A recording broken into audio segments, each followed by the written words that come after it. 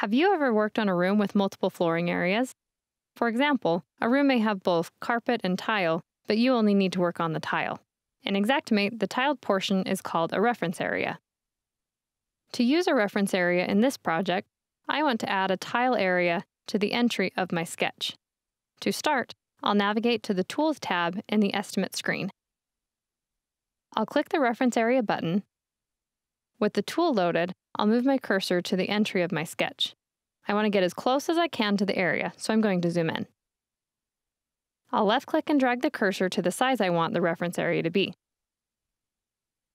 I can also use the square break tool to create an offset in the reference area.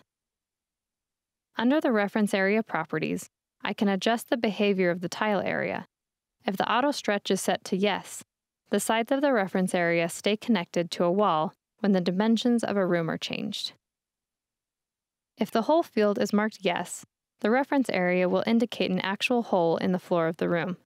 This changes the estimate's flooring removal variable for the entire room. For example, this is a good option if you need to create a hole in the floor that allows stairs through. In Properties, use the Algorithm Flooring Hole option to account for holes in flooring such as cabinets, tubs, and toilets. Unlike the hole field, this option only deducts for carpet and vinyl flooring and does not count that area as an actual hole.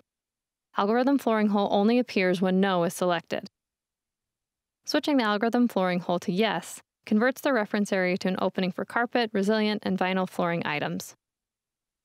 And that's it! You can now create and change the properties of a reference area in Xactimate.